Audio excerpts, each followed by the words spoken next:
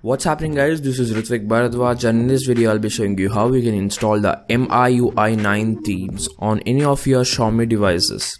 Let's get started into the video.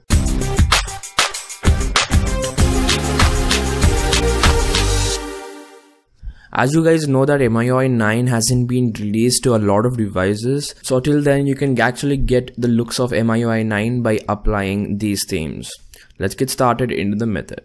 First thing is that you need to download these MIUI 9 themes from the links given in the description below. After that you need to extract the .mtz files and keep it in one place.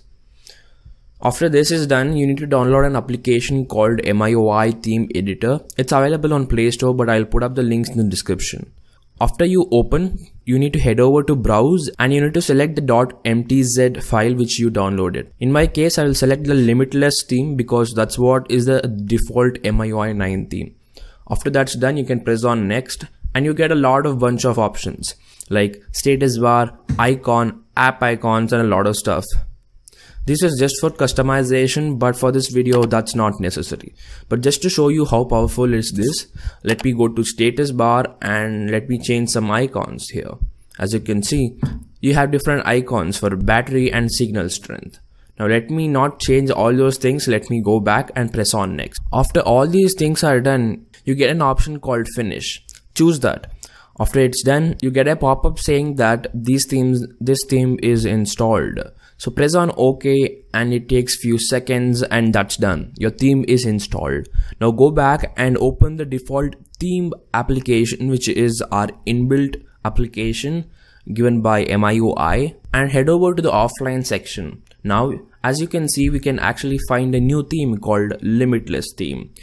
Open that and press on apply.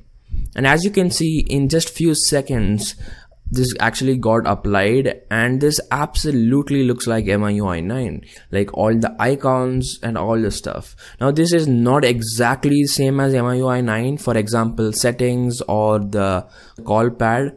But yeah if you want to get the exact MIUI 9 features as well as MIUI 9 looks you can actually download the Chinese beta ROM of MIUI 8, the latest one. I'll put up that in the description below. After that's done, you can actually follow this tutorial for that ROM. After that's done, I'm sure it'll absolutely look like MIUI 9 and you'll get all the features of MIUI 9 on MIUI 8. Thanks for watching guys, hope you enjoyed. Do subscribe to my channel if you are new here because I'll be making different tutorials on Xiaomi and also I'll be updating you guys on when MIUI 9 will be launched for your devices.